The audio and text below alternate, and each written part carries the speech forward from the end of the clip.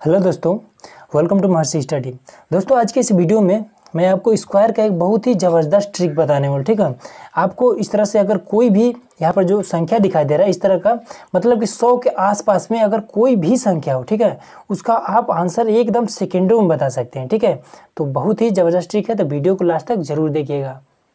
क्योंकि वीडियो के लास्ट में मैं आपको गुणा करने का एक बहुत ही बेहतरीन ट्रिक बताने वाला हूँ, ठीक है? आप किसी भी बड़े से बड़े संख्या का गुणा एकदम आसान तरीके से कर सकते हैं, ठीक है? तो सबसे पहले इसको जान लेते हैं कि किस तरह से इसको हम एकदम सेकेंडों में आप इसको हल कर पाएँगे। देखिए, क्या है यहाँ पर? 104 है, ठीक है? तो आप क्या करिए, चार का आप स्क्वायर करिए। तो चार का स्क्वायर मतलब कि चार चौका सोलह। तो यहाँ पर आप सोलह लिखिए। अब क्या है?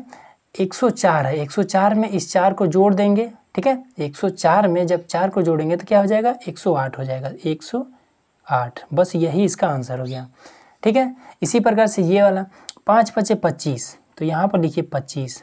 लास्ट में हमेशा दो ही संख्या होना चाहिए, ठीक है? तीन संख्या होता है तो उसको आप हासिल में ले लीजिए, ठीक है? अब उसके बाद से क्या करिए? 105 105 में इसी पाँच को जोड़ेंगे तो क्या आ जाएगा? 110 तो 110 ये इसका आंसर हो गया। फिर ये वाला छः छः के छत्तीस तो लास्ट में लिखिए छत्तीस, फिर 106 है। 106 में छः को जोड़ेंगे तो क्या हो जाएगा? 112 ये इसका आंसर हो जाएगा, ठीक है? अब यहाँ पर क्या है? 107 तो सात सत्य लास्ट में क्या है? सात। सात सत्य लिखिए इस तरह से उनचास। अब 107 में इसी सात को जोड़ेंगे तो 114 तो हो जाएगा 114 आंसर हो गया। फिर इसको देखिए 108 है। तो 108 में आठ आठ चौंसठ, ठीक है? तो यहाँ पर लिखेंगे आप चौंसठ।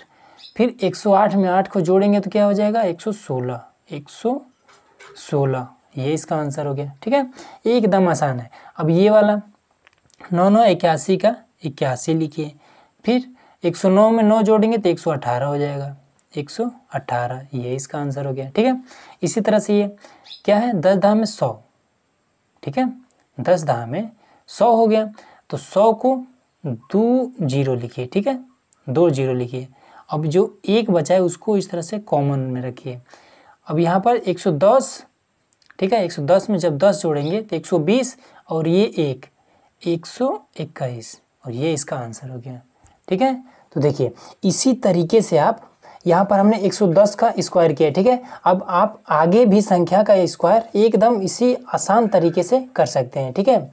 तो अब देखिए, अब अगर आपसे, यहाँ पर हमने 104 का किया है। अगर आपसे 101 और 102 103 का करना हो, तब कैसे करेंगे? तो देखिए, अगर दे दिया जाए 101 का स्क्वायर, ठीक है? और 102 का स्क्वायर और 103 का स्क्वायर और 104 का तो यहाँ पर हमने किया ही है।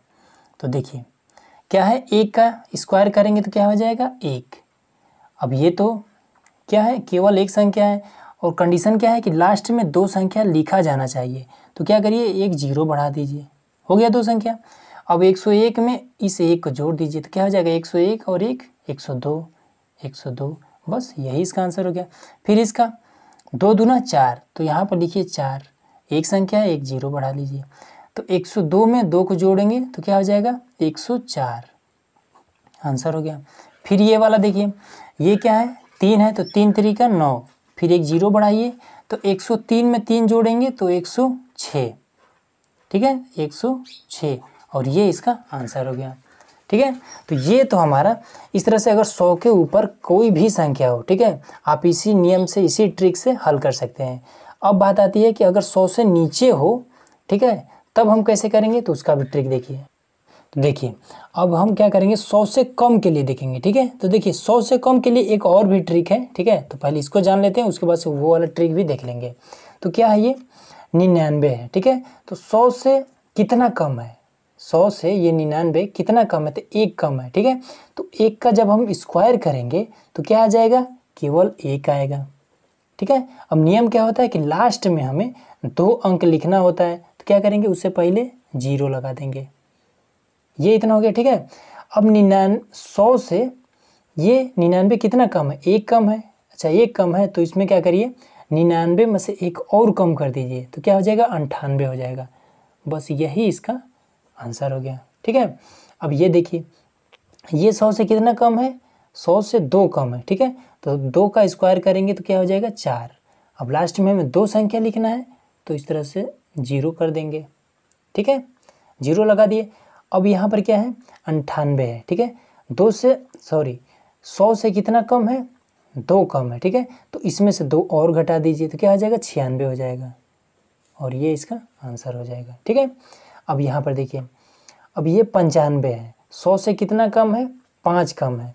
तो ये पाँच का स्क्वायर कर दीजिए। जितना कम है, उसी का स्क्वायर कर दीजिए।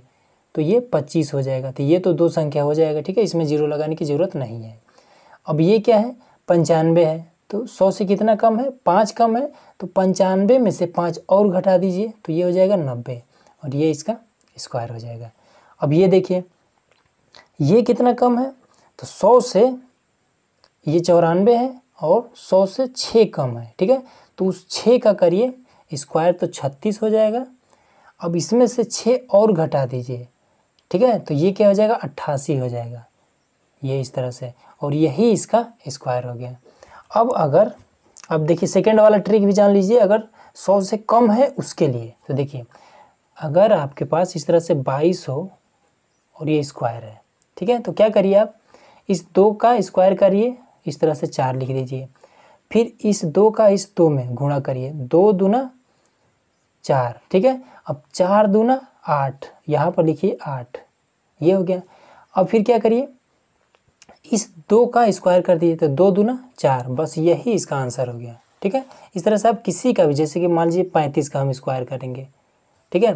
तो पाँच बचे पच्चीस का आप पाँच लिखिए, हासिल कितना बचा, दो बचा। पाँच तीन, पंद्रह दूना तीस और दो, बत्तीस का आप दो लिखिए, हासिल बचा तीन। तीन तरीका नौ और तीन बारह, बस यही इसका आंसर हो गया, ठीक है? इस तरह से ये इसका ट्रिक हुआ।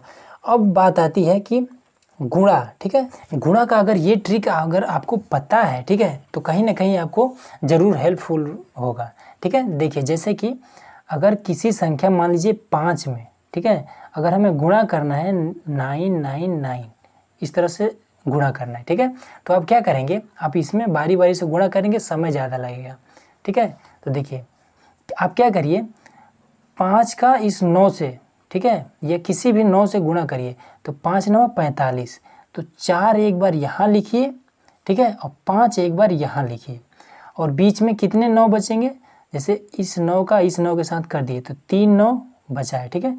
तो इस तीन नौ को इस तरह से आप लिख दीजिए और यही इसका आंसर आ जाएगा, ठीक है? इसी तरह से आप किसी भी, केवल एक संख्या से, नौ का मान लीजिए, नौ गुणे नौ गुणे, मान लीजिए दो करना है। ठीक है? तो क्या आप क्या करेंगे? नौ दूना अट्ठारह ठीक है? नौ दूना अठारह तो एक यहाँ पर लिखिए, आठ यहाँ पर लिखिए, और बीच में ये जो दो नौ बचा है, इसको आप सिंपल इस तरह से लिख दीजिए, और ये इसका आंसर हो गया। ठीक है?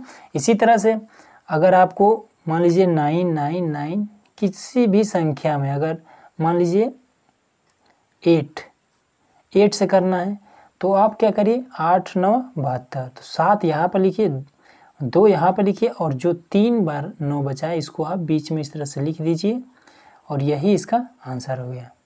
ठीक है? तो बस यही इतना था। तो दोस्तों, आज का ये वीडियो आप लोग कैसा लगा, हमें कमेंट बॉक्स में ज़रूर बताइए। अगर आप चैनल पर नए हैं तो सब्सक्राइब ज़रूर करिएगा। तो चलिए मिलते हैं एक और भी नए और इंटरेस्टिंग वीडियो में। तो वीडियो को देखने के लिए बहुत बहुत धन्यवाद।